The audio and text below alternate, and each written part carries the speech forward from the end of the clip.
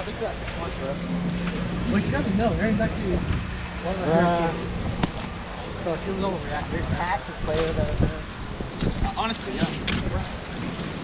What's her one? My